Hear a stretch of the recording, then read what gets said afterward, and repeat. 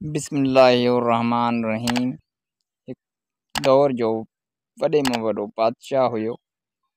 हुनजी हिकु अहिड़ी ख़ासियत हुई, जेकी तव्हांखे ख़ासियत ऐं ॿी पार्ट नई वीडियो में ॿुधाईंदुसि।